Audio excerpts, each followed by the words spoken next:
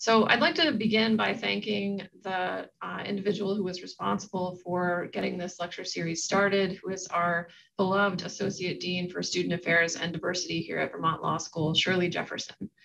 I'd like to acknowledge her leadership in launching this series and keeping it going over the two years since the murder of George Floyd by Minneapolis police in May 2020, which is the event that precipitated this series.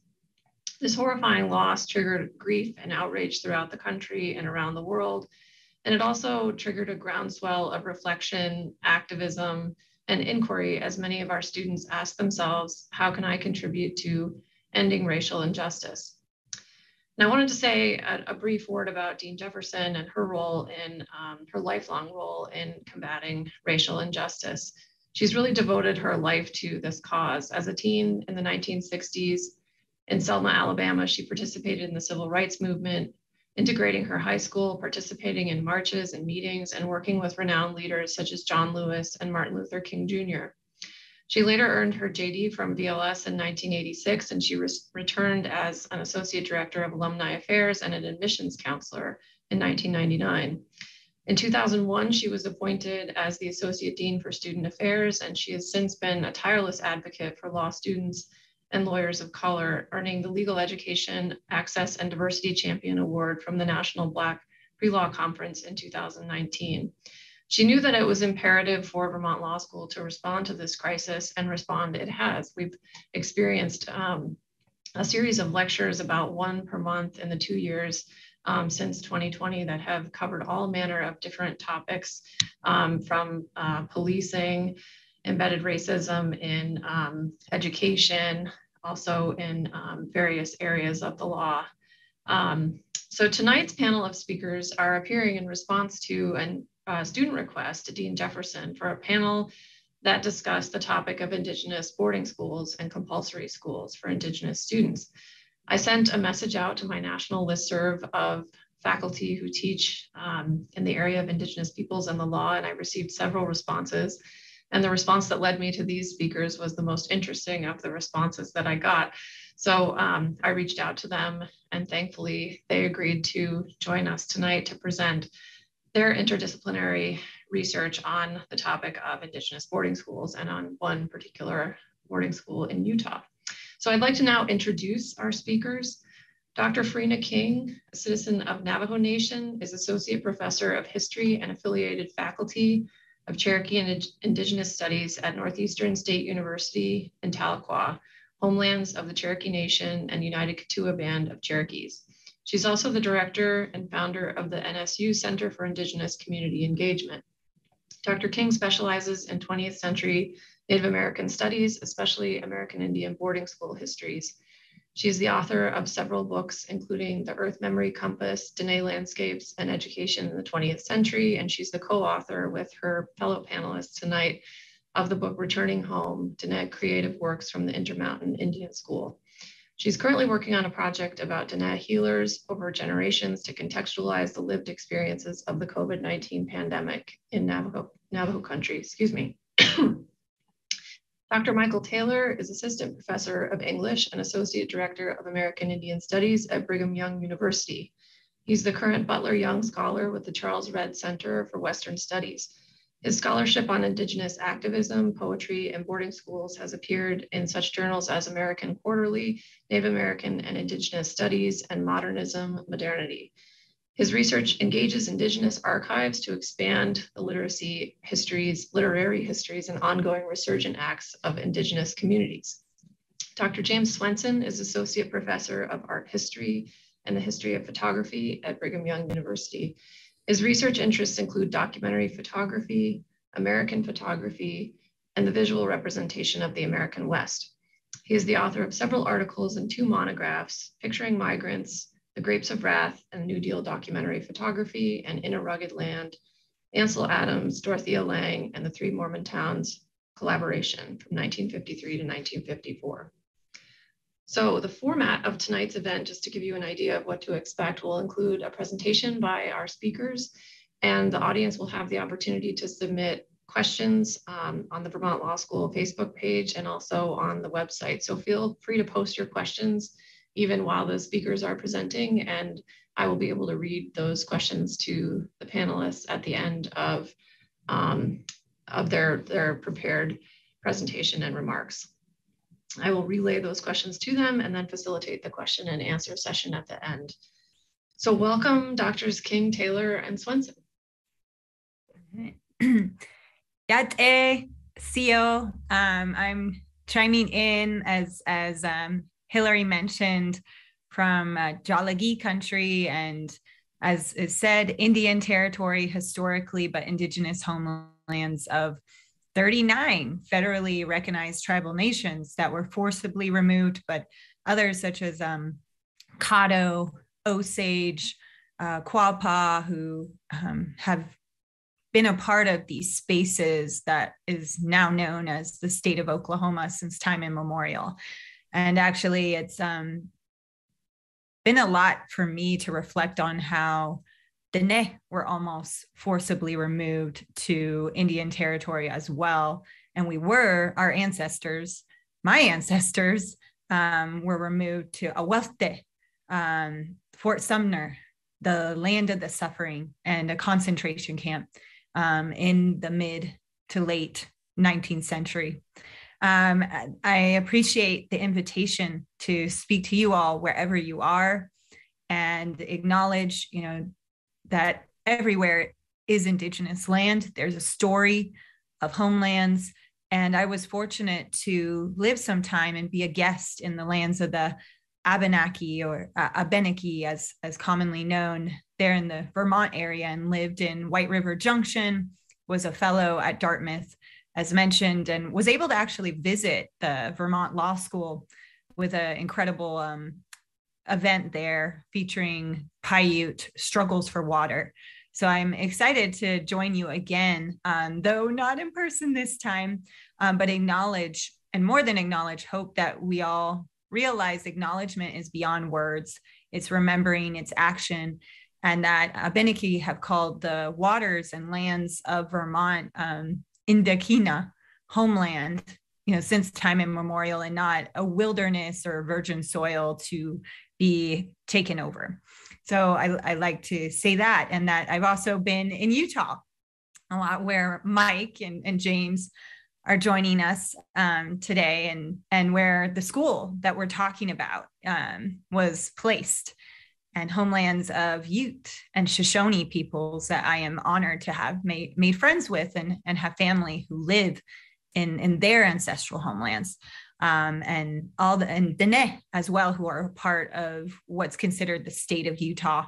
And my parents um, lived for about a decade or so in uh, Sabian Sky Monument Valley, a community that we'll talk about um, today. So I'm saying that classic phrase that on your go or whatever you're saying is I'm sharing my screen, everyone. And can you hear me and see this? All right, Hillary's nodding. Good.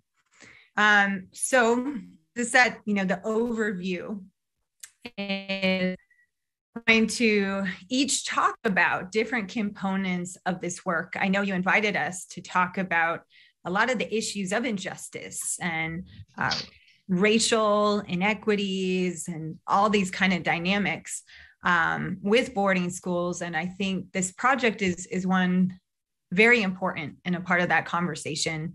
Um, and we each will talk about that, Mike, James, and I.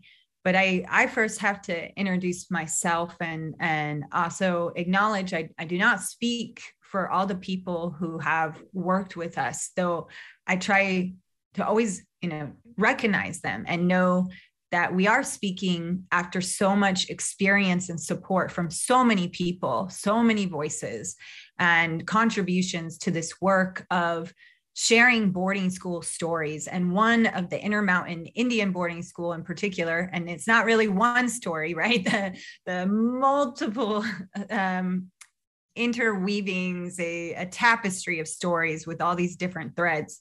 Um, but Intermountain Indian School, as we'll mention, was technically known as the largest federal Indian boarding school in American history. So it is of particular interest and a very complicated story, as, as all these Indian federal boarding schools are.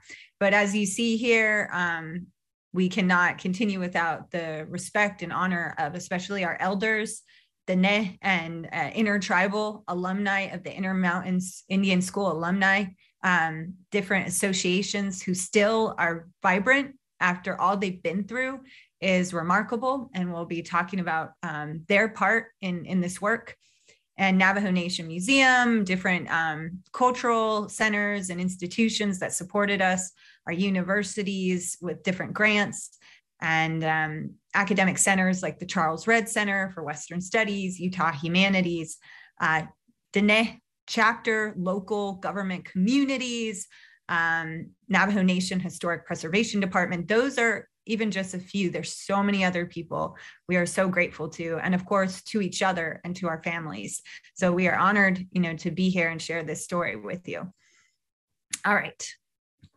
Um, since this is being live streamed, unfortunately, I I usually like to show a few of oral histories as I worked with oral histories primarily. Um, but because it's live streamed, I am going to have to forego that due to just, you know, making sure um, the right permissions are set and everything, but we can refer to the different things. But um, these are images of a few of the Intermountain Indian School alumni who were very important in sharing their voice, sharing their stories and, and memories of the school, and us working with them and being inspired and, and solicited, like requested to develop this book, Returning Home, that we co-authored and worked on together. But really, you know, the true authors of this book are the Intermountain students themselves. It it sustains their voices at a particular moment, but tries to contextualize it, you know, as the book came out just November 2021 and still more stories you know this is not a closed book right? There's so many more stories that are important for us to continue to share and tell. So that was um, rena sorry going back rena dixon and um, others like her who talked with us ben nez here too uh, shared their stories through the oral histories that I primarily worked with as an oral historian and Dene scholar. And for me, my positionality, you know, the three of us being very clear of where we're coming from, why we're doing this work, um, it, it's always very relationship based in how we position ourselves. And for me, um, these are eh, kinship stories because um, my father went to boarding school. Uh, he was dropped off when he was five years old. And this is a picture of Shaje'e, uh, Phil Smith, Do Shinali Atza, my paternal grandmother, Johanna Haskoutsi. And as I was saying, in, in the Diné Bizaad, we introduce ourselves by our clans. So I would say, Sha'e Bilagana Nishle, Do Kia'ani, Bashish Chin, Bilagana, Da Shache, And that's how I explain that I call out to my relatives and say that I am through my mother, we acknowledge our maternal lines, our mothers, um, that I am of white English American settler descent through my mother and born for the Towering House clan and Black Streak Woods people of my father. And, and as mentioned before, a citizen of Navajo Nation, but Dene through those kinship ties. And this is an image of me in the cradle board and i was i was born and where my umbilical cords are buried that's a traditional way we ask where are you from because there's that ongoing connection of place family community is uh, so important to Dene, you know, who were a main focus in these boarding school stories and in many of my studies because I've been tracing my own family stories and, and connection. And as um, Anishinaabe scholar Brenda Child has said, uh, boarding schools really become a metaphor of colonialism, you know, of, of what it stands for in these different aspects. So, as mentioned, I did a project called the Earth Memory Compass, and that traced on reservation boarding school experiences in the Nebuchadnezzar, Navajo homelands, because people think boarding schools are so far away and, and that children are sent far away. But some were right in Navajo Nation within our four sacred mountains, our ancestral homelands. And yet those walls were still very thick, and the assimilationist agenda and genocide, the effort to wipe out a people, to wipe out their existence, and using boarding schools as a tactic for that. And there are scholars, uh, good friends of mine, Preston McBride, who are actually tracing the physical violence and death that happens at these schools, as well as Marsha Small, a Northern Cheyenne scholar who's going to Chemawa Indian Boarding School and using uh, GPS um, or ground penetrate ground penetrating radar to find unmarked graves, as you're hearing about in different media. So folks knew I was working on this project, specifically my, my friends here, uh, Dr. Michael Taylor. He first reached out to me since he had some students who came across the Utah State University collections that they had in archives since the Intermountain boarding school closed.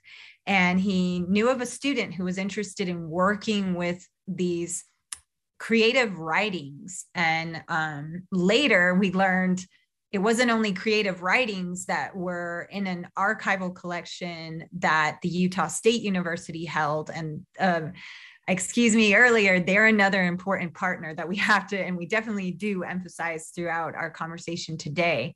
Um, so he reached out to me and said, Farina, you know, I know you know um, you've emphasized a lot of the boarding school experience. Have you heard about Intermountain? You know, different people came up to me about Intermountain and he asked about this collection that a student, um, Terrence Ride, who also contributed to the book Returning Home, um, his part in supporting this work. We had many students work with us. So thank you so much um, to them as well. And then I said, Hey, I have an idea. I knew about the Utah State uh, university collection, but the question of accessibility has really bothered me. Um, when I did my project on Earth Memory Compass, I had to travel far to these archives. And even if many of them are digitized, like what Utah State has done an incredible job doing, as we know in covid-19 really exposing and, and other areas internet is not equal everywhere you know the accessibility is still not um, the same everywhere. So we had this idea of creating a interdisciplinary traveling exhibit of making sure we bring and curate these students' own works back home, like to their home in Diné-Bikéyah.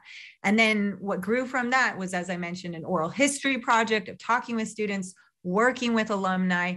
And that's where they encouraged us, please, will you write a book so we can have something for our family and our community? And that's how it came together now i try to give just a little basic background because uh, i'll you know be passing the baton on to mike and james to share you know different components here so this part is a little more of the background because we don't know how familiar everyone is with Diné-Bikéyah and Navajo Nation. Um, so this is a map to kind of help place you. It's around the Four Corners area, about 20, 27,000 square miles. It's a size comparable to the country of Ireland, the state of West Virginia. So this is a big space and a, a nation. Um, and the four mountains are point, uh, pointed out here. Those are our sacred and ancestral boundaries, in a sense, the markers of where Diné-Bikéyah is. But the um, outline part is where reservation borders to treaties like the Treaty of 1868 um, set after removal Navajos able to have the Treaty of 1868 to return from the concentration camp of Hwéeldi. So why Intermountain? You know, a little background of why is this school so important um, and what can we learn from it? And, and of course, emphasizing the stories of the students uh, is that it opened about 1950. And at that moment, Navajo Nation was in a crisis people think after World War II, yay, America's on top of the world, a big boom. There's that kind of memory of it. But for Navajo Nation, they were in desperation and families were starving.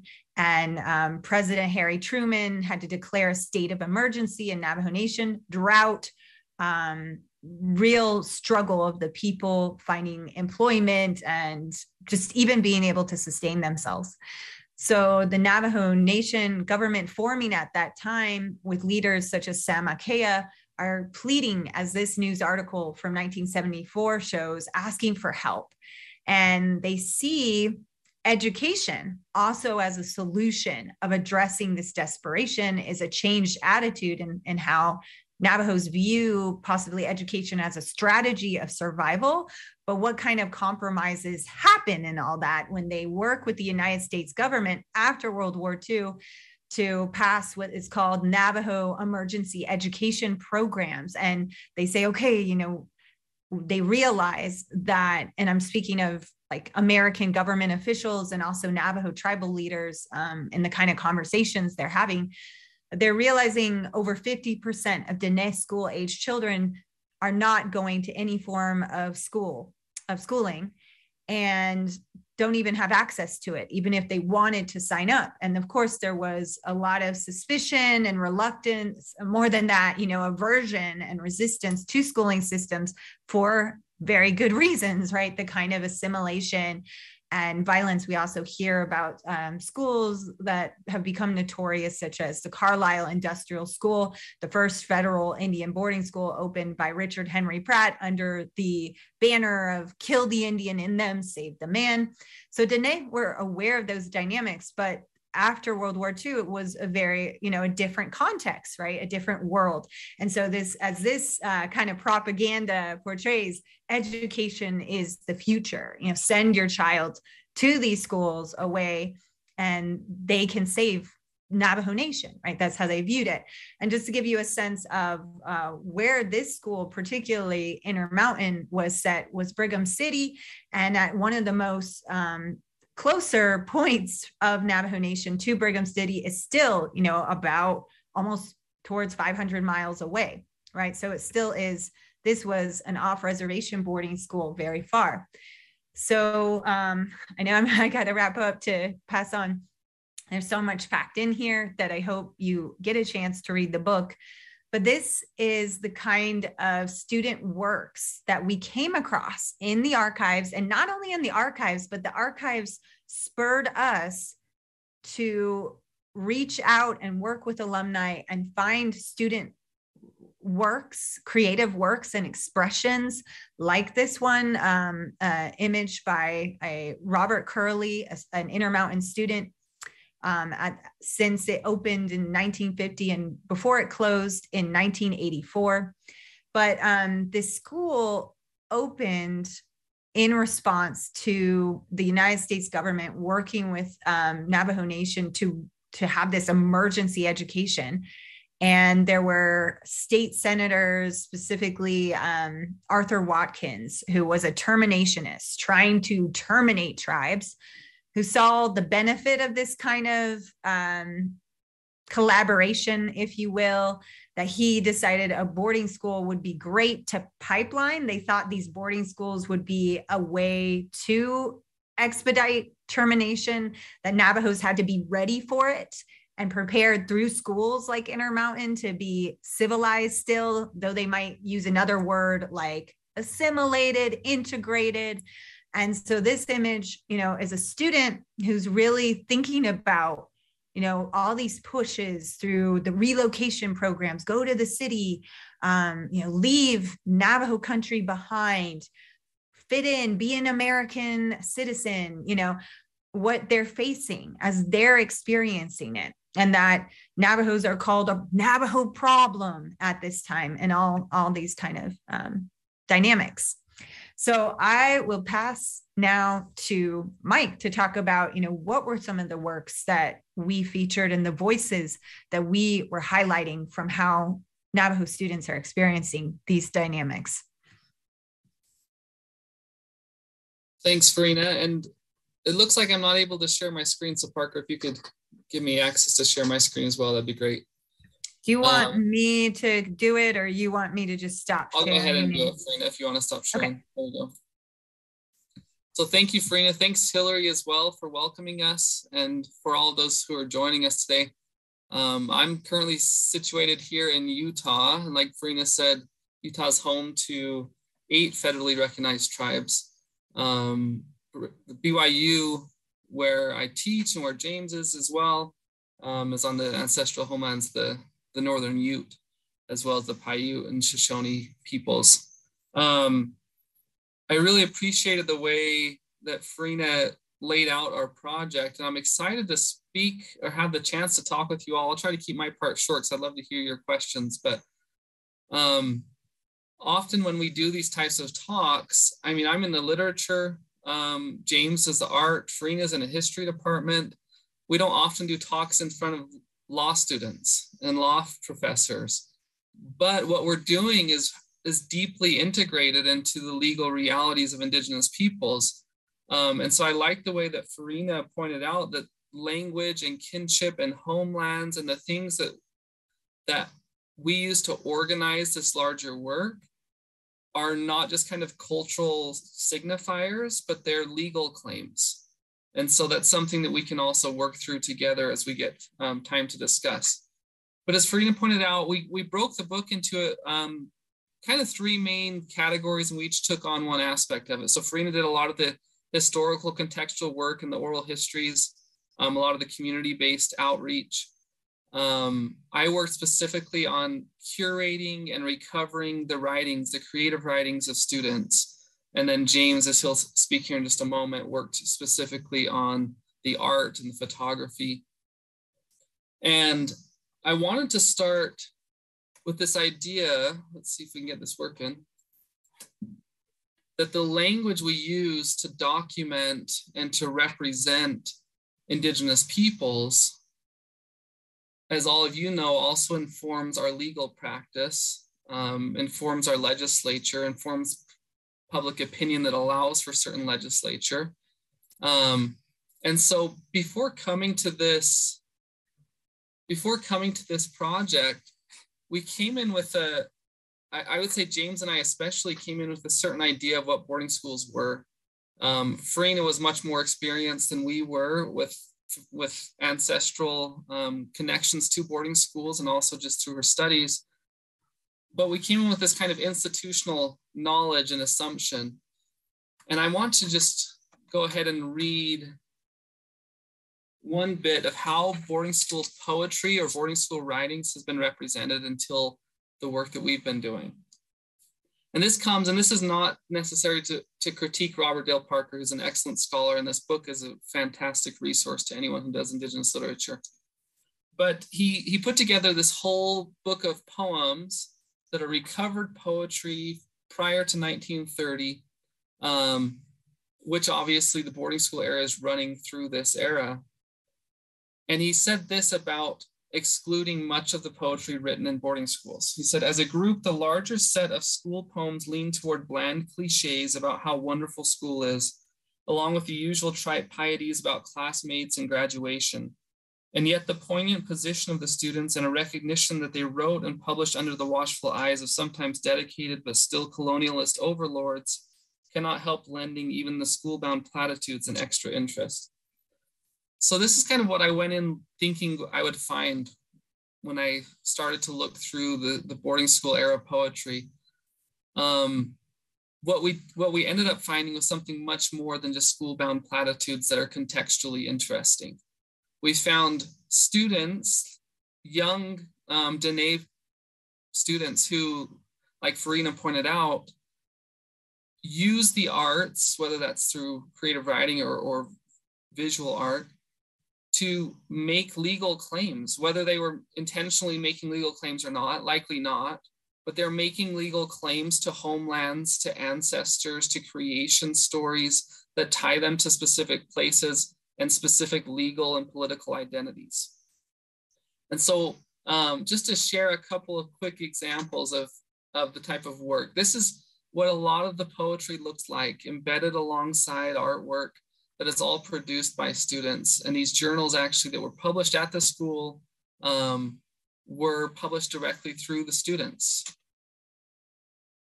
And I want to show just two quick examples of some of the students who are featured in the book. The first one is a little more playful because I think a lot of what happens when we talk about boarding schools is we focus on, on the important reality of, of cultural genocide. Um, and in that focus, we sh- we shift away sometimes from the realities of indigenous youth being indigenous youth in these spaces um, and so this first one is just kind of a funny one that i love to share but it's from archie washburn who farina had the chance to interview. We met him at a, at a reunion camp out that these alumni still hold each year. And his response was that one of these days my people my children will know that i am a poet. Um, and he he was one of a few who wrote full collections of poems and published full individual collections of poetry as a student um, so this one again gives us an insight just into the day-to-day realities of what it means to experience adolescence away from home in this kind of culturally limiting space so archie writes i was young now i am older and now i play it cool around me is school some friends are a fool others we play it cool we go out with cool cats. Man, you're nowhere when you play it cool. We dig chicks that are boss. Nobody plays it rough. Nobody acts tough. We play it cool, man. We go out for balls, have a short chop. Everything's cool, baby, when you're playing it cool. I share this again because I think it highlights this oversight that often happens when we talk about the legality of boarding schools, the, like I said, the cultural genocide of boarding schools, ongoing investigations, this is not to dumb down the those harsh, like I said, genocidal realities. It's to help us humanize those who are actually suffering at the hands of what Robert Dale Parker calls colonialist overlords. Um, I'm going to jump over to the, the next student really quickly, whose name is Henry Tinhorn. Um, because Henry Tinhorn his poetry takes on a much more kind of direct, introspective, serious tone about the experiences of boarding school. Henry Tinhorn died at the age of 20. Um, he, he went directly to Vietnam. A lot of boarding schools, as many of you know, were kind of factories to, to develop soldiers to go into to war. Um, the Intermountain Indian School actually was built out of an old military hospital and again, that was that was not uncommon that boarding schools were kind of the direct or were built on the foundation of, of earlier military spaces. But Henry Tinhorn, um, let me jump over to his preface because I think it gives us a really good insight into what students were hoping to do by turning to the arts to express their cultural and legal identities. He writes, For ages, people had the assumption that the power of the pen could save mankind, but I think the future lies with the young.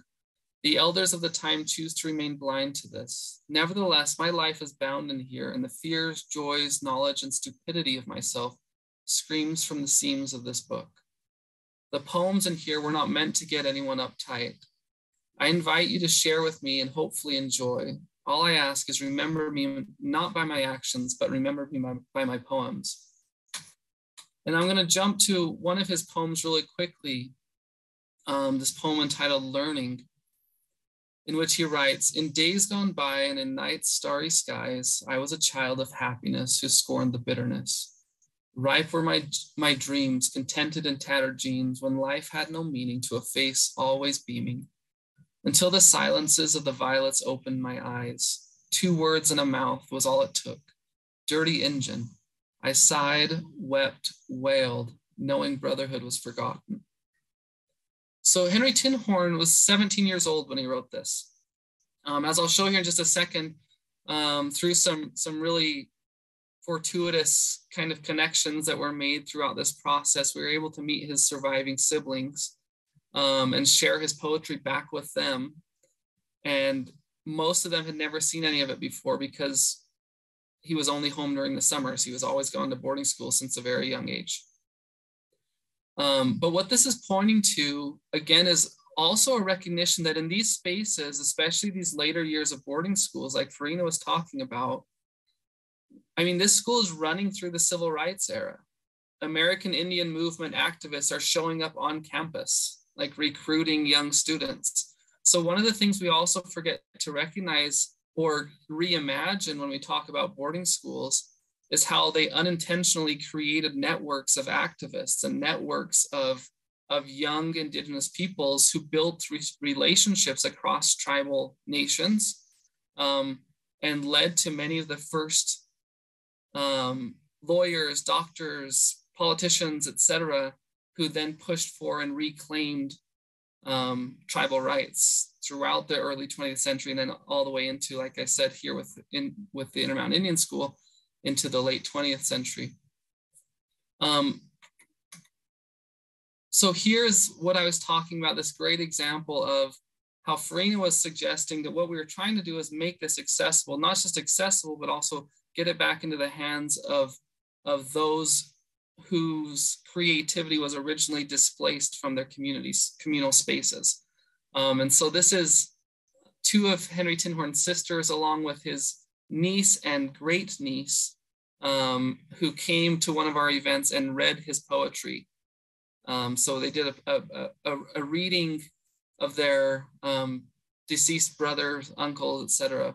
Um, creative work. And as we talk together, we realize that a lot of this work, whether it's the legal work that we're doing, whether it's this literary re like recovery, the oral histories, the, the goal of this work is this communal resurgence and this communal healing that happens when we gather in these spaces um, and, and work through, grapple through the, the hard intersections of law and politics and art and identity. So with that, let's turn it over to you, James. Okay, thank you, Mike. As Mike mentioned, I um, was brought on board uh, because I've done, I, I, work with art. But before I start, I would like to thank those who made this possible. Sorry, my voice is a little huskier than normal. I'm not sure why, but I'd like to thank those who made this possible. And I applaud uh, Dean Jefferson and all those who put together this forum. It's certainly the right time for it. Um, I'd also like to thank my colleagues for their remarks, and it's been a privilege to be um, able to work with them and to be able to move this work forward. Um, I'm the oldest member of this group, and I'm the only one that actually remembers seeing Intermountain. Um, as a young boy, I, I, grew up in Salt Lake City, and we were traveling north up to Logan, which is the northern part of Utah. And um, I remember seeing Intermountain. I remember seeing it was the dead of winter, and I remember seeing students as they uh, out in. This is what the this facility looked like. I remember seeing them walking around the streets and asking my parents what this was, and, and being told that this was an Indian boarding school. And at the time, I didn't understand what that meant, but I'm grateful for this project in that it is, as Mike said, has helped open my eyes to what these schools are, what they were, um, what they how they're able to help students uh, at the same time, the challenges that these students um, had while they were studying far from home.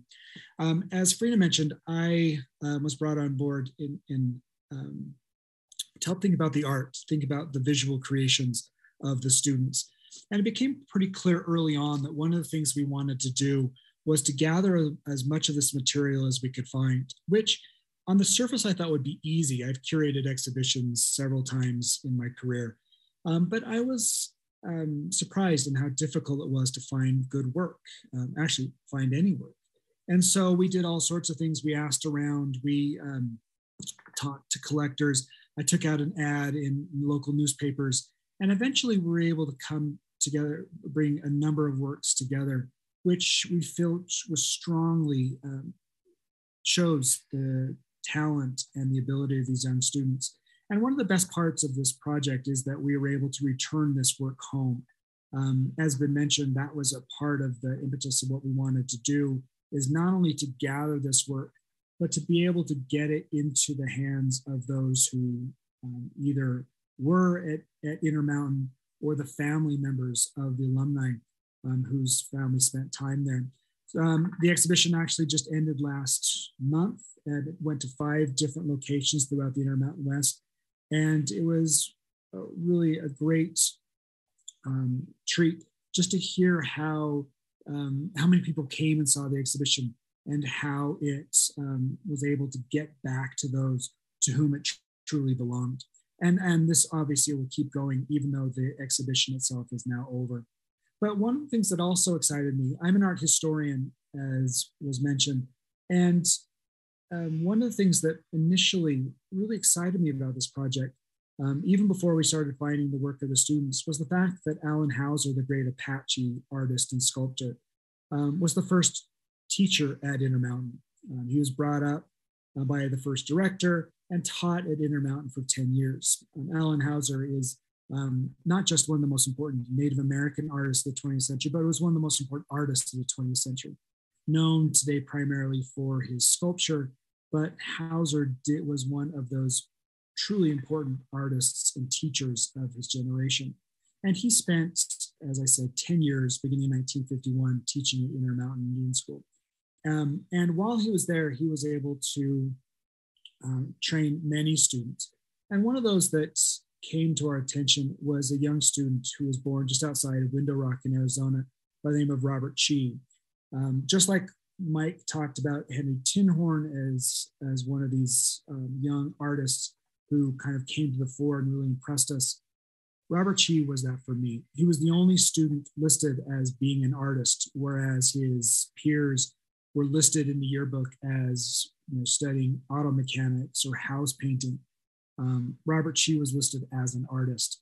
And one of the things I like about Chee is that he was able to capture this the idea again taught by Houser, but be able to channel this this desire to return home and to paint his people.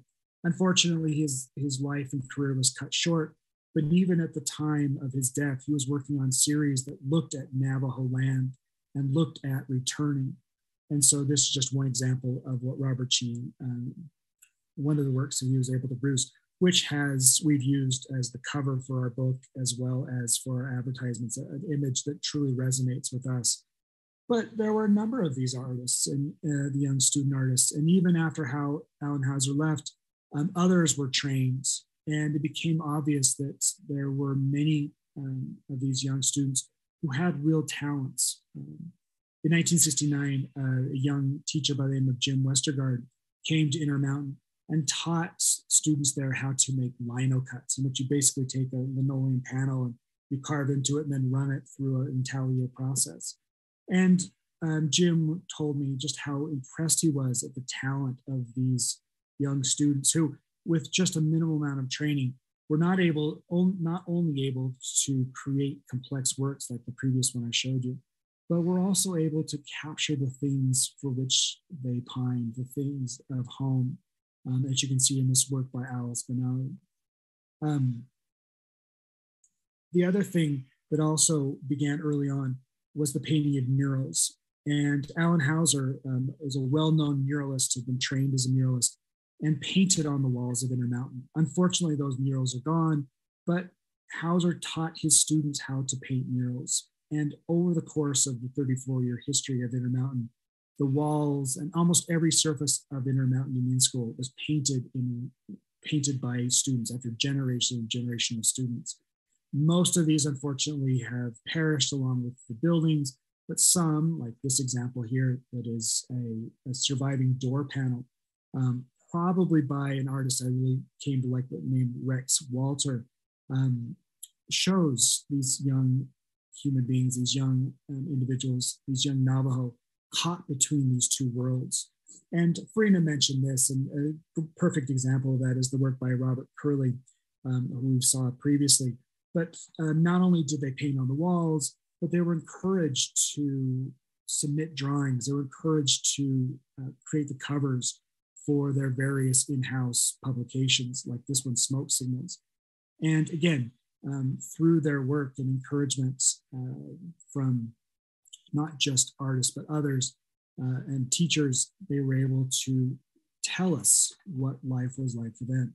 Um, again, this school is a liminal state for all of us, but especially for these young these young Navajo students who are pulled away from family and being pushed in one direction or another. I think Curley captures that as well as any um, in this work. But being young and as, as Mike said, living in really exciting times, um, they were affected by the things that were going on around them. Um, they were um, they loved watching TV. They loved listening to the radio. They were they were impacted by the various movements and ideas that were circulating around them, and that shows up in some of the drawings, like this one by uh, an artist by the name of Rocco, who submitted a number of pieces for the publication. But what I really like about these young students and artists is that sometimes they provided work that doesn't make sense, like this one, another example from Rocco, um, which is one of my favorites. And Farina just sent me this as a t-shirt, so thank you, Farina. I should have been wearing that today in honor of, of the Rocco's Untitled Dead Frog.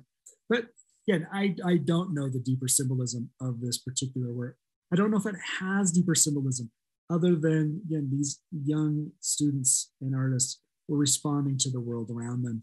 And yes, they could take the form of silly drawings that were submitted to uh, poetry publications, but they often painted um, and filled entire walls.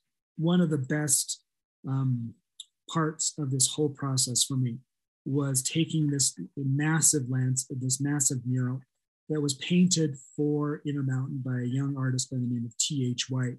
Um, just to give you a sense of scale here, this is about 15 feet wide and about three and a half to four feet high.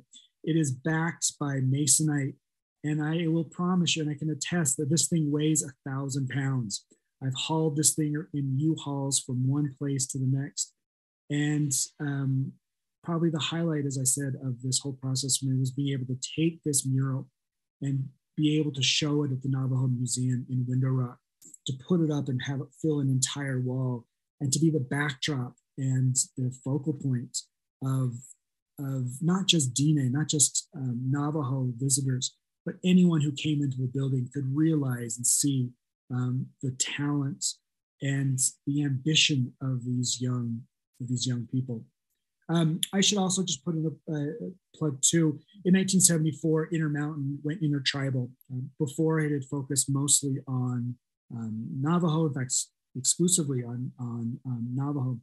But in 1974, it opened up to uh, tribes from all across the United States, and um, including and, and, and, several young students uh, again came from all over, from east to west.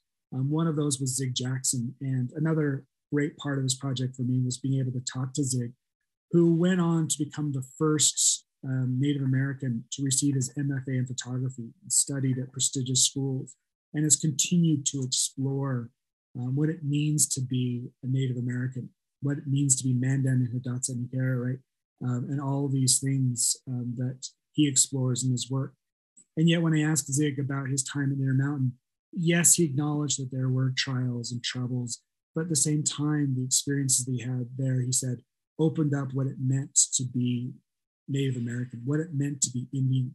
And um, that was a nice part of, of, being able to learn that firsthand from um, one of these young artists. And in the end, I, will just conclude with this image. Um, the buildings, most of the buildings were torn down. It took several years for that to happen. And in the meantime, um, personal objects, personal items, parts and, and of, of, lives were left in the mountain, such as these four abandoned photographs.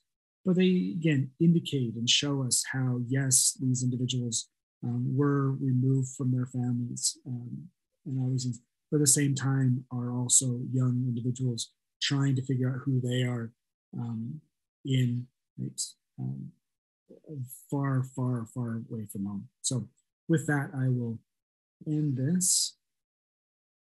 Yeah, I'll um, share some concluding remarks of our time before we open up to hearing questions and having a conversation from everyone too.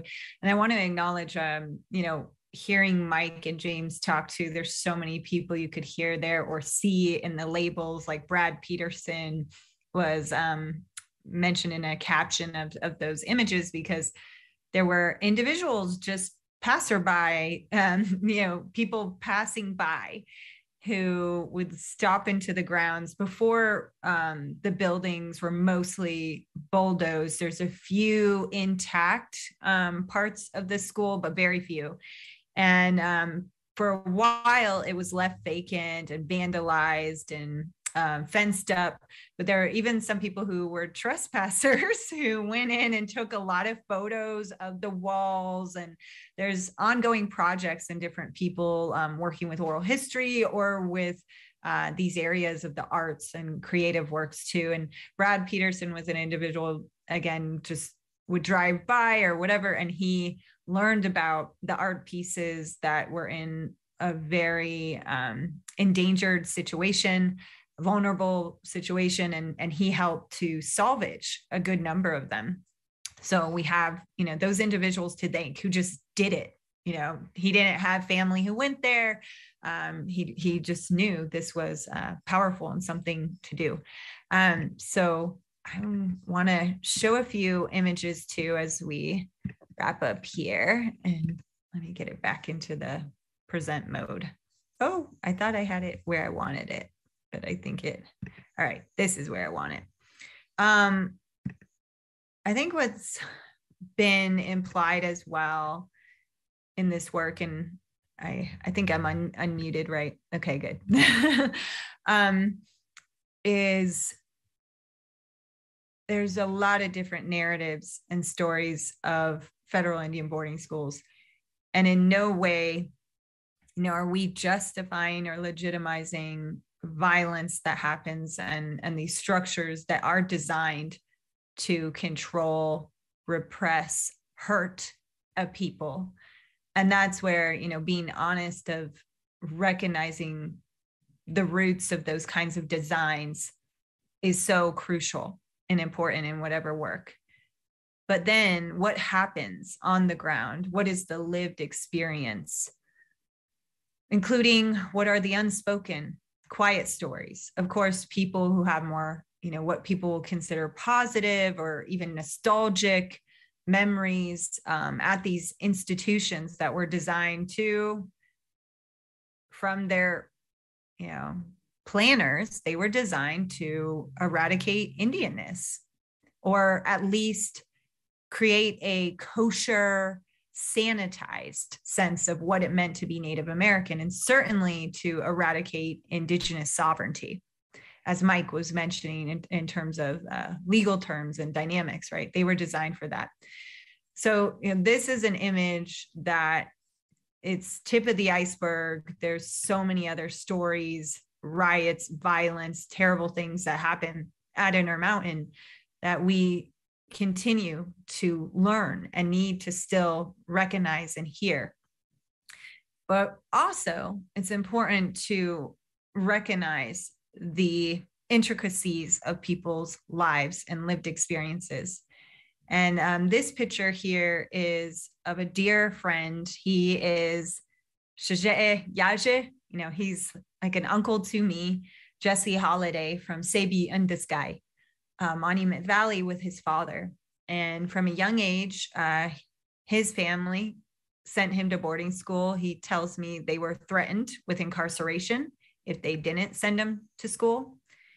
And he told me how at school, that's where he was introduced, though, to watercolor, um, painting, and certain arts that he said pulled him out while it was very devastating, very traumatic for him.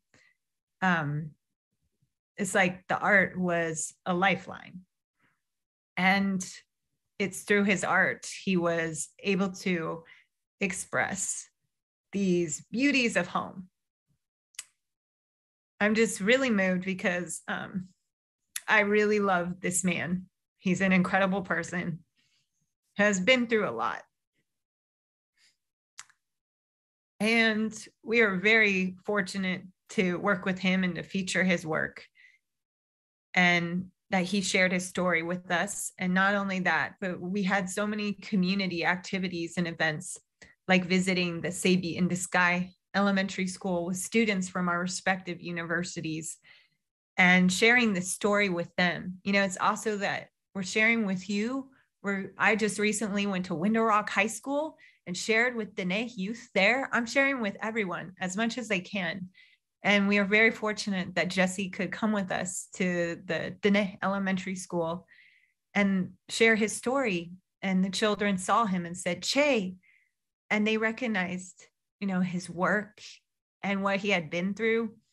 And they were able to draw, you know, the beauties of their land and, and acknowledge that around them when they have all a lot to face with many different kinds of struggles.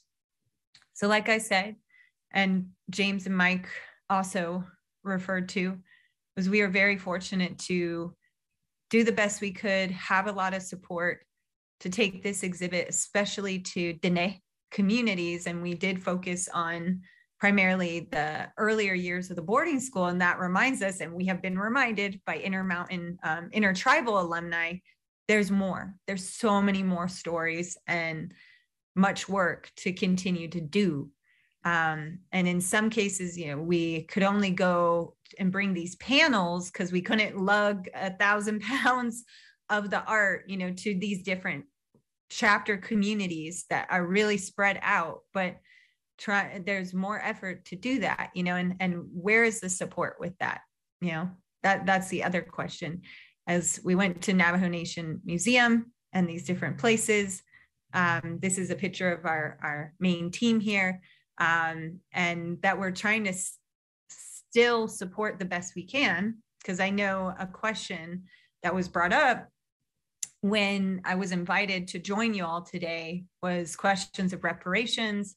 I'm sure some of you are wondering about uh, the Department of Interior and Secretary of Interior, Deb Haaland, Laguna Pueblo herself, um, and the Federal Indian Boarding School Truth Initiative that we're waiting for that report. And folks have contacted me, um, including, you know, Navajo Nation, that the department has reached out to of what do they know about boarding schools? What, you know, just trying to find out, even the United States confronting this history that so few people know about or understand the complexities and intricacies and, and especially the intergenerational trauma and hurt and detriment that happen from these schools, but how it's really messy because these are people's lives too. It was their childhood. This for the survivors, you know, as as more folks are being known.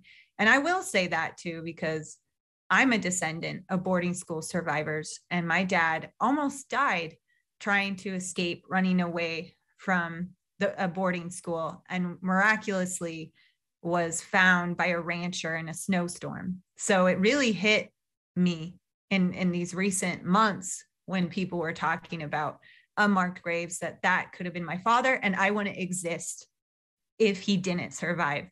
And why did he have to face that? You know, why did his parents feel that they had that pressure, you know, to drop him off.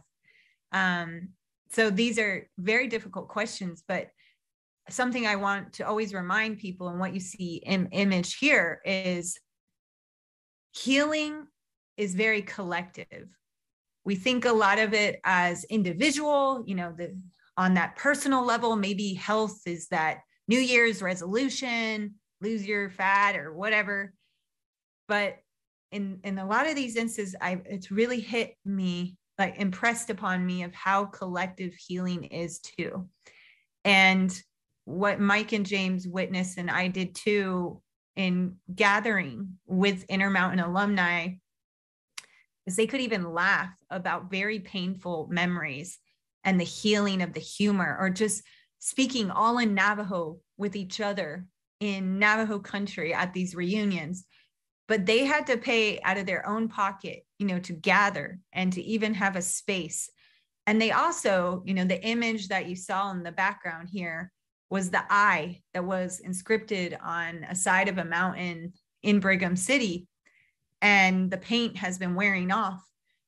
And intertribal alumni and Diné alumni they gather still as much as they can. And recently last year they gathered and they were like billy goats climbing that side of the mountain. And I wouldn't even do that, but they did to repaint that eye. Because they want people to remember. And they had to save up, and they still do when they're tight on funds and face so much because that's their healing. So I hope, you know, it's not just like cutting a check for an individual person, but really supporting the community. And I'll say this because I created this GoFundMe because we're looking even just for support of how to support these boarding school survivors who are still with us, not even to mention, you know, um, the children the descendants.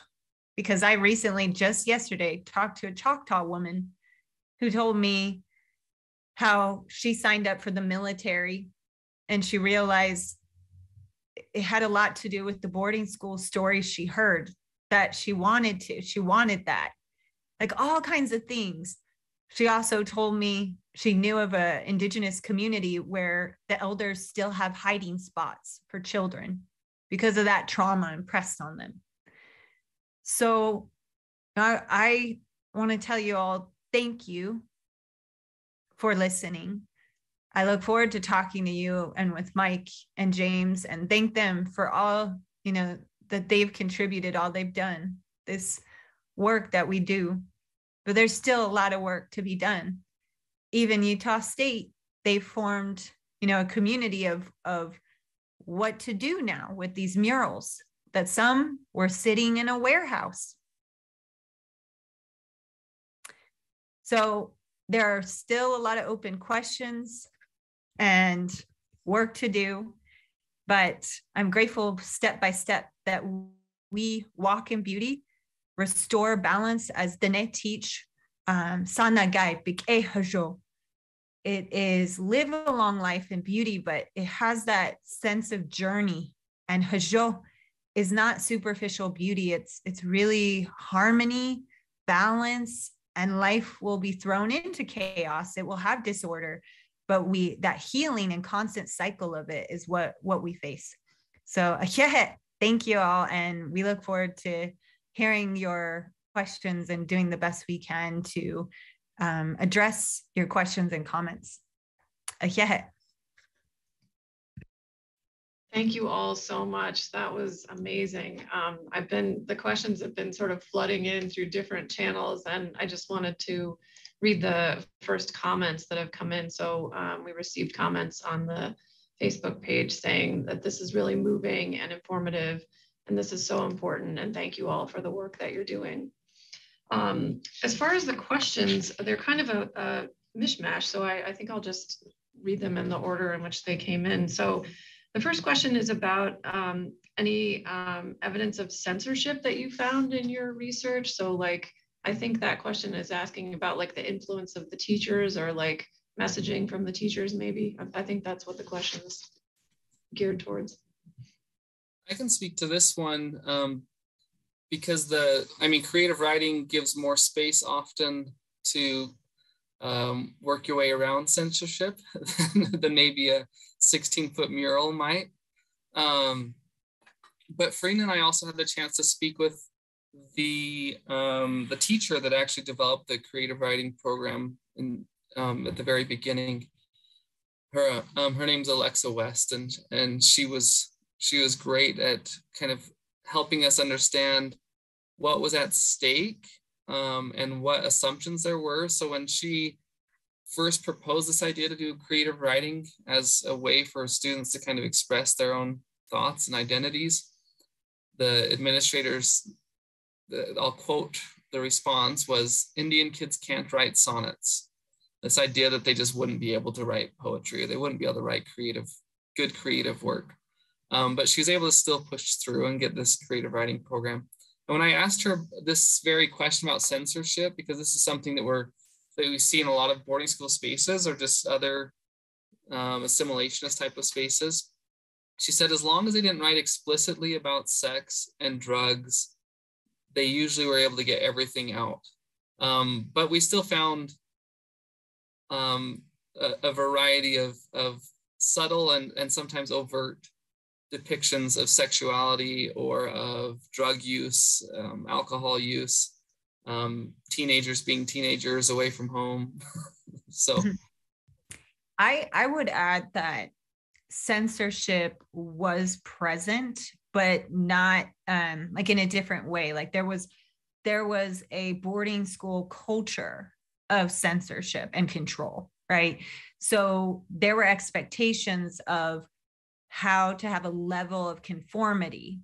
And if you conformed and worked within those certain boundaries, you could get by. And maybe as mike was mentioning students could find ways to stretch those boundaries you know and then be creative um, or even resilient with them.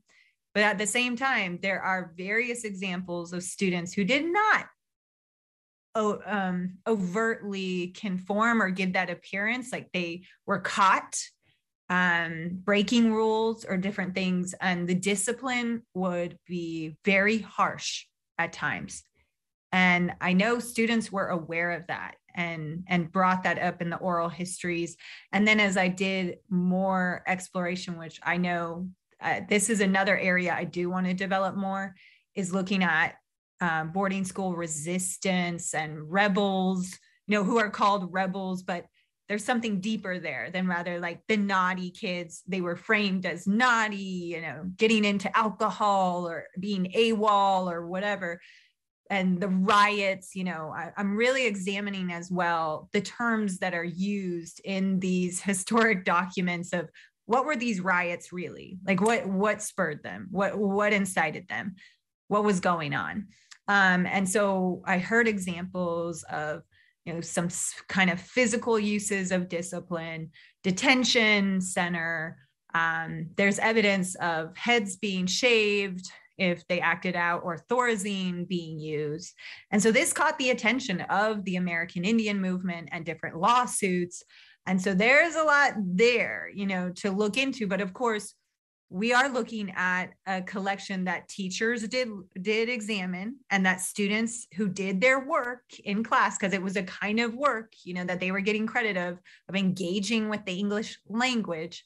And some of them we didn't even get to talk about but mike you got to um, share how they were went to competitions and like awards um, the kind of recognition and and how they actually like like archie washburn was a part of a emerging native authors you know who were very well respected um, i don't know who was it at the time mike you might be able to bring that up better of the competition that archie was involved in I think it had um, some of these award-winning authors. Yeah, so Archie um, actually had one piece published alongside people like N. Scott Momaday. Thank you. Um, who are at the very forefront of what literary scholars often refer to as the Native American Renaissance. But uh, along with that question, like Farina's pointing out, it's important for us to recognize that censor- censorship, while grounded in the same kind of assimilationist agenda, looks very different in a 1950s to 80s boarding school than it does in an 18th, you know, 1880s boarding school. Yeah. Um, there's a different way of holding administrators and teachers accountable than would have been present earlier on. But at the same time, we're, as Farina is mentioning, um, there are stories of also administrator or teachers being being disciplined for allowing too much freedom. Yes. supporting students um, in their expression of of identities that were were not conforming to the ones that were um, mm-hmm. prescribed. So or even the discrimination against um, staff and employees who were uh, people of color or indigenous themselves. There were cases brought up of that um, because Brigham City wasn't a predominantly white community, um, heavily influenced by by the Church of Jesus Christ of Latter Day Saints. You know, uh, traditionally in in the Old Language Mormon community, um, and there are cases brought up of Native American teachers or staff weren't allowed to take children on field trips. They um, did not have promotion opportunities as other uh, white staff. So this was another part too, and I'm glad Mike brought that up. Is um, people also think of boarding schools as like white staff and employees only and native students, but James really brought to light and emphasized and was able to talk to a number of Native American instructors like Leo uh, Leo Platero, right, James? You have to talk. Yes. Yep. It was Leo. Yeah. Okay. Thank you. Oh, I wasn't sure if you were done answering that question. Okay. Um, so this question says, um, were this, I assume this means initially when you first um, contacted them, were the students surprised to learn that you were researching their artwork? Do you want to go start with that, James? Because I know you really started to reach out to people. Yeah, I think they were. Um, you know, there are they were selling work from the very beginning in Intermountain, and you know, a lot of a lot of art ended up in local collections, and uh, people have had these for a long time. A lot of it's obviously disappeared over the years, but um, there were a lot of people who were eager to let us use them and excited that we could use them. Um, and it almost seemed to a certain extent that they knew that there was a time in which this was going to come back out. Um, the same time, on the same, you know, same time though, there were others who were surprised that we were interested in their work, and and uh, Mike alluded earlier that we went down to a couple of the reunions down at Wheatfields, which is just um, up in the highlands of Arizona, and uh, you know. Um, for Mike and I and and kind of wondering they're, they're wondering if we had gotten lost basically they asked the question frankly of like are you boys lost so I think um, to have people interested in who they are where they studied and what they did um, has come as a nice surprise yeah I remember Jesse was really touched and he spoke at our closing reception at the Navajo Nation Museum and he said I didn't ever think I did anything much. And he was in tears and, and really touched by, you know, an acknowledgement of, of his work. And something I didn't get to share is he was able to actually return home. And that was something, you know, that was com- complex too. People ask, you know, how effective was that assimilationist agenda, uh, removal and relocation? And other individuals, like you saw some pictures of uh, Lorena Antonio, who worked closely with us and helped us to connect with different alumni. And she is active in, in the gatherings and reunions, um, including the upcoming one that they're planning for in Brigham City uh, this September um, 2022. Um, she lives still in northern Utah, and a number of former students did stay, but she returns home all the time. When COVID hit, she was active, actively gathering donations and driving truckloads of water to her community. I mean, it's incredible. And Jesse returned home to become an art instructor at um, the first Diné uh, community based schools in his community of Monument Valley and taught some traditional arts like silversmithing and such. So it was really exciting as well to share those aspects of returning to. Just to add to that, to me, the most exciting thing was when we'd be in an exhibit space or in like the reunion space and someone would identify an art piece or a poem or something by a relative like wait a second that's my cousin or that's my auntie or um and like the the amount of like the one image that Farina showed was Jesse Holiday. Farina and I brought him to an elementary school right there in Monument Valley. Um, and so to get to have relatives recognize other relatives as creators, as, as continuing cultural um, practices and knowledge and so on in spaces that have often only been kind of categorized as victim spaces um, has been a really powerful thing to just kind of work through and get to witness is to say wait a second no my my uncle my auntie my grandparent look at this incredible art that they created even though they were stuck away from home even though they were limited in all these various ways to practice culture um, so that was that's been really exciting just have these spontaneous like recognitions of relatives.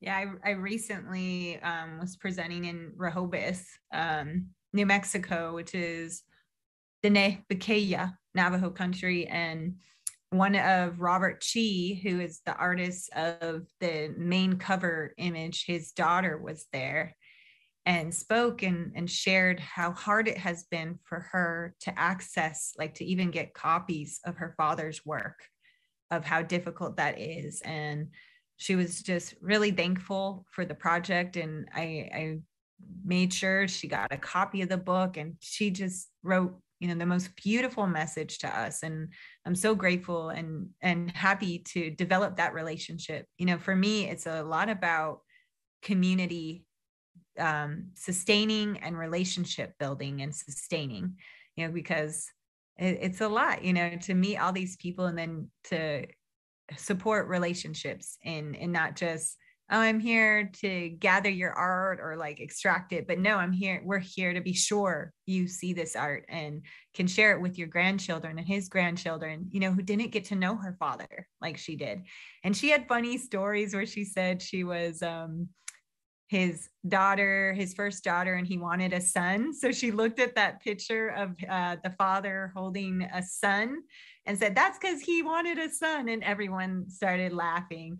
You know, like that that humor and the story upon story that people can bring up through through this work was, has been uh, very beautiful. Okay, um, thank you for those answers. This next question is about the parents. Did you find any records of the parents like writing to the school and asking about their children or any reflections or evidence of the parents' experience? Well, I can quickly say yes, absolutely. And it's even in some of their poetry, some of their writings. Like Mike might have seen that. I was looking at one the other day. It, it had the title or something of Homecoming. And it was talking about how even some family would come and visit and a student was excited they're coming you know they're coming to meet me and my parents are coming and so i, I did hear that but i also heard of some really sad and and difficult stories too of um, there's some families where they didn't have access to a telephone so it was very hard to call and talk um, and then writing in terms of writing um, not a lot of students did write that I know of. I knew of some letter writing letters that I've seen. Um, as I also looked at the Latter day Saint Indian Seminary of the school, I was curious of that. So I found even some archives of letters between students and their parents. I didn't really get as much into this project. Um, but I heard of once uh, a student or a situation where the parents didn't know, they didn't know English, you know, they didn't know how to write or to read in English. And so there was that disconnect too that was really hard for families to communicate in, in a number of situations. And so and that was even more debilitating, like really frustrating for children of having that radio silence because they if they sent a letter they were worried could their family understand it? But i also had heard of some sending letters in in english or even you know maybe trying to write out in navajo and they would find someone in the community if there was still an active trading post or something they would read those letters to the children. So i've heard of those instances. But i don't know if mike uh, other ones came to your mind or james from that yeah one of the, the, hardest parts of reading through poetry is when students would write about family members who had passed away while they're gone to school um, so not being able to be in communal spaces when a parent passes away or a sibling passes away.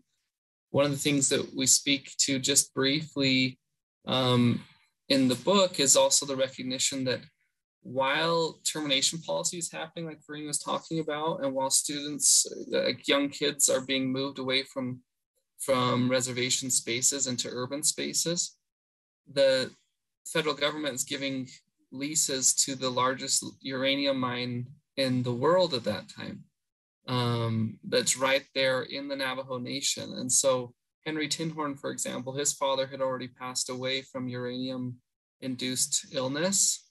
Um, and a lot of, of parental figures or ancestors, relatives are, are dying at young, much younger ages than national averages because of the reality of, of mining and other extractive um, industries that are replacing like as children are being moved away extractive industries are coming into these same reservation spaces.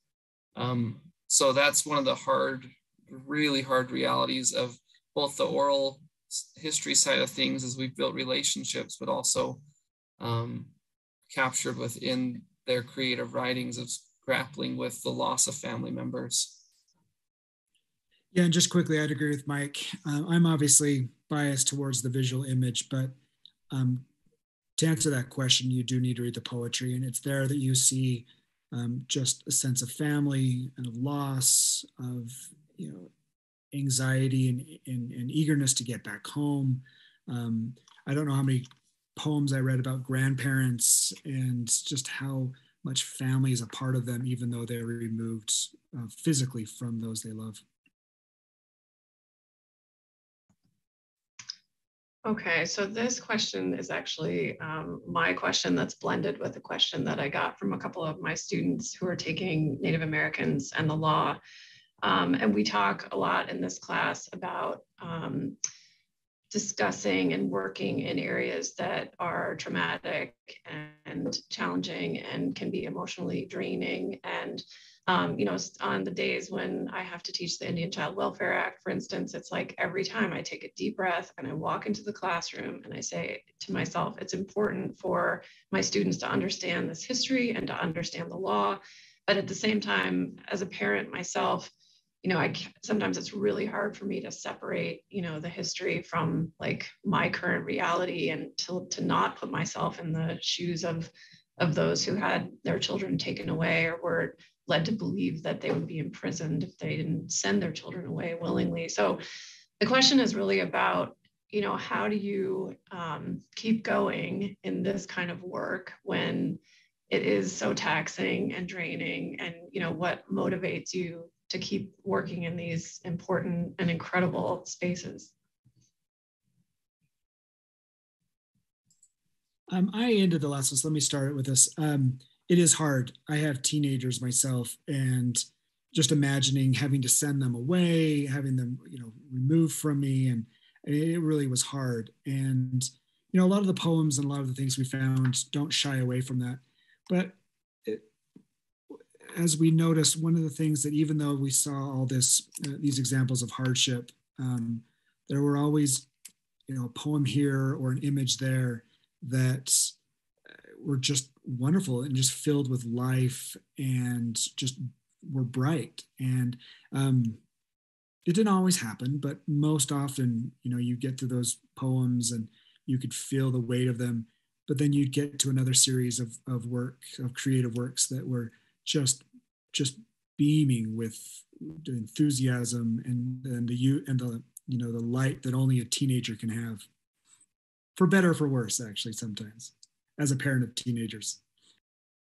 I'll just add to that as well. Um, I had the great opportunity this semester to teach a course. Um, it's called the Native American Rights Seminar. And as part of that, it's a small group of mostly Indigenous students, and the university gives us funding to travel with them to important sites. Um, and so we went for about a week to South Dakota um, and then into North Dakota, into the Standing Rock area. Um, and I mean, we were working through some of the hardest historical and contemporary indigenous spaces in the country. And there were a lot of tears shed and a lot of um, just kind of quiet processing. But when we came back, we did this these community presentations where the students shared what they learned with with um, indigenous community members and others who were interested. And there was this moment of just like complete community where we were grappling with it together. Um, so we in a way we carry one another's burdens in ways that we as academics often don't do as we isolate ourselves in our offices um, and it reminded me also um, my my phd advisor is, a, is just a fantastic indigenous literary scholar but he talks about how good stories aren't always happy stories, they're just true. Um, and so telling true stories are the things that actually heal us and build us up, not just telling happy ones. And so if we can work through true stories in communal spaces and help to kind of create those spaces of community, um, I found that that that kind of depressing weight of hard histories and hard realities is is one that that brings real relationship rather than further isolation. Well i think um, that's a really good question because to be honest I didn't want to focus on Native American studies um, as my career. I tried focusing on African history um, and, and got my master's in African history um, because it I had to confront and face that for me it's very personal. Um, you know, these are my relatives. Uh, this is my children, and these are my children in Diné, as I mentioned, K'é, uh, kinship is really close and we're clan related and, and different aspects.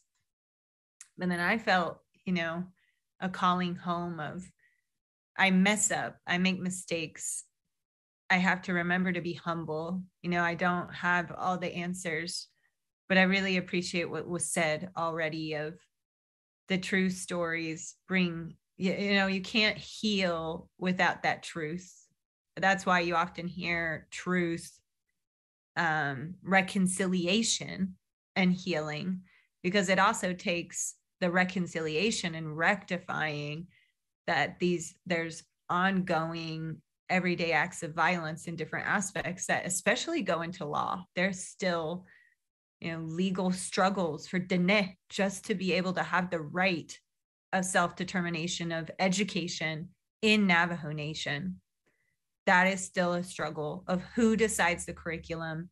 We see this happening even all over, right? All the fights about critical race theory happening in in my state where I am living of Oklahoma or, or different places of who decides what's being taught, what's being shared, what we're talking about.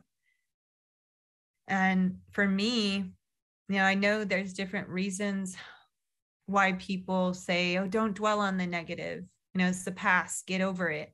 But it's like when you get hit by a bus, you can't just keep walking on and walk it off. You need to understand what happened and to seek healing and, and the treatment that you need. But sometimes that treatment is going to take, you know, stop stop the bus from keep hitting you if it's still hitting you you know if, if that something is still opening the wounds you know you need to see that and so for me, that's why I do it is I am not ashamed of crying because those tears are water is sacred, water is life. And that's healing for me too. To learn what my ancestors have gone through, including my own um, you know, aunties, uncles, cousins, my dad, even my mother, you know, she's not Diné, she's of white settler descent, but learning her trauma of what she's been through in her life, it is empowering for me because I can know and understand them better, understand the situations. And then, you know, that's why history, as a historian, I'm very passionate and emphasize it on my soapbox, if you will, or, or whenever I get a chance to is we can't know where we're going if we don't know where we are dropped off or where we landed right? You don't even know where you are. And if you're kind of like oh you can't look at this you know what happened um that's going to make it really really hard. And i know it takes step by step because i i have small children. And even in this uh, my work my son wants to ask me mom when he was small are you going to send me to a boarding school? Because he was learning what I was, um, you know, talking about. And that really hit me. But I realized I ha- then I could have an honest, to the best of my ability, try to have a candid conversation with him. And I'm glad he can have that, that I didn't really have because it's not like my family were talking around the dinner table about these very traumatic experiences that led me on this journey where I've like, you know, I haven't even told Mike and James this, but in some of these talks with Diné alumni there, a woman came up to me crying and I shed tears with her of where she said, I feel like my childhood was stolen from me. And that was really hard for me, but I was glad I was there to cry with her, you know, and to hear it out. Um, so I know it's worth it and it takes step by step and we'll still trip or whatever as we're trying to learn this process, but do the best we can and, and caring for one another, right? That's the biggest thing of really care and and listen and learn how to help each other.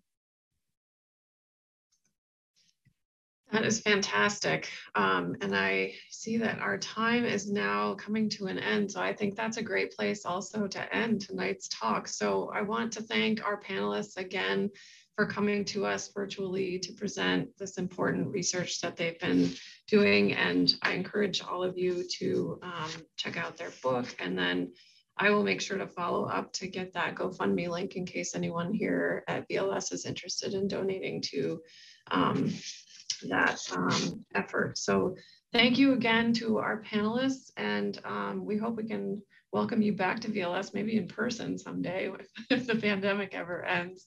And um, thank you also for the, um, the really important work that you're doing. Thank you. Thanks, Hillary. Thank you for listening and joining us on this evening. Hope you all stay well and take care. Thank you.